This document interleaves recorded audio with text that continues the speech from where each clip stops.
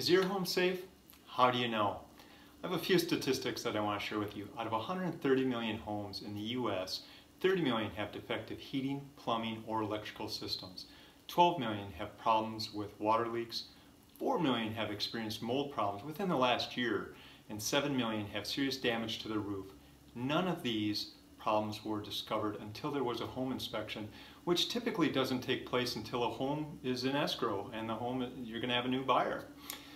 I'm David with Inside Out Home Inspection. I've been in thousands of homes in the greater Sacramento region and consistently surprised at the safety issues that I find.